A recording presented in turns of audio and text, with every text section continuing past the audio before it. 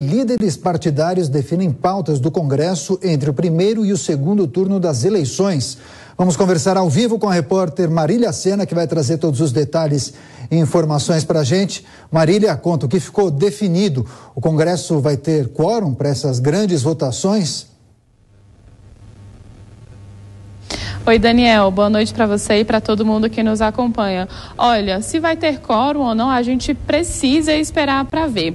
Hoje, o plenário do Senado votou 30 projetos de acordos internacionais e os senadores decidiram, em uma reunião de líderes que aconteceu mais cedo, voltar só na próxima terça-feira para votar duas medidas provisórias que foram aprovadas na Câmara dos Deputados ontem. São elas a MP, que altera a estrutura da Agência Nacional de Transporte transportes aquaviários e a MP que estabelece barreiras sanitárias protetivas de áreas indígenas. Os senadores deixaram para votar só depois do segundo turno é, a MP que permite que os recursos da Lei Paulo Gustavo sejam repassados para o setor cultural apenas em 2024. Esses repasses são de 3,86 bilhões de reais. Os parlamentares também decidiram que após o segundo turno, as sessões aqui no Senado serão intercaladas. Uma semana de sessões totalmente presenciais os senadores ter, terão que vir aqui a Brasília e uma semana de sessões semipresenciais. Quem quiser, quem puder, venha a Brasília. E essas sessões acontecerão entre terça, quarta e quinta-feira aqui no Senado Federal. Se vai ter quórum ou não, Daniel, a gente precisa esperar para ver. Tem muitos senadores aí envolvidos nas campanhas a presidente da República do segundo turno. Hoje o plenário aqui já foi bem esvaziado, teve a discussão da CPI que pode investigar os institutos de pesquisas eleitorais, mas o senador Rodrigo Pacheco, por exemplo, não veio até aqui para conversar com o senador Marcos Duval, que é o senador que está encabeçando aí esse requerimento aqui no Senado. A gente ficou aguardando uma resposta do senador Marcos Duval sobre essa conversa, mas o senador Rodrigo Pacheco não esteve aqui e aconteceu sessão. O senador Randolfo Rodrigues, inclusive, disse que para essa CPI ser instalada, outras CPIs precisam é, ser instaladas na frente, como a CPI do MEC, por exemplo. Então, o que está movimentando aqui o legislativo no momento é isso, e principalmente o Senado Federal.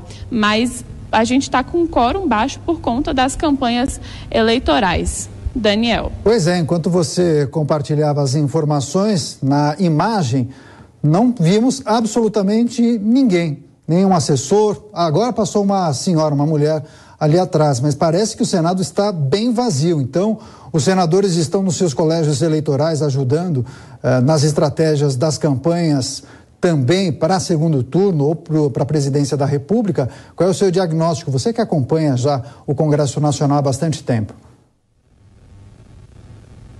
É, eles estão envolvidos aí nas campanhas. Os senadores da, da base petista, por exemplo, eles vêm aqui, passam recados aí da campanha do, do ex-presidente Lula e aí voltam para as reuniões. Os senadores também da base do presidente Jair Bolsonaro fazem a mesma coisa. Na Câmara dos Deputados também é muito previsível a chegada deles. A maioria estão aí em campanha eleitoral e aí as sessões ficam sempre para depois, né? É, a gente tem notado também aqui que os senadores que foram eleitos é, para essa próxima legislatura já estão aqui rodando, procurando gabinete. É, na Câmara dos Deputados também, o clima para os que não foram eleitos, é, assim, de enterro, eles vêm aqui, dão oi, e para os outros que estão chegando é de mais alegria, já vem escolher gabinete, mas o clima aqui é esse, de troca, né? É isso, Marília Sena trazendo as informações do Senado Federal, o Senado um pouco esvaziado por conta da campanha eleitoral para o segundo turno. Obrigado pelas informações, Marília. Boa noite. Seguimos com análise, com discussão, os nossos comentaristas apostos. Cris Grêmio, você acompanha eleições já há bastante tempo. Esse fenômeno não é inédito, né? Geralmente parlamentares, deputados, senadores acabam colaborando muito com as eleições também nos seus estados e mesmo para a campanha eleitoral para a presidência da República. Você acredita que eles vão conseguir agendar e votar pautas importantes antes do segundo turno, Cris? Eu espero que sim, porque o país não pode parar, né? E veja bem, tem alguns estados que ainda estão com o segundo turno em aberto, né? Que vão ter eleição para governo no segundo turno, mas não tem mais reeleição de Senado nem de Câmara Federal, isso já acabou.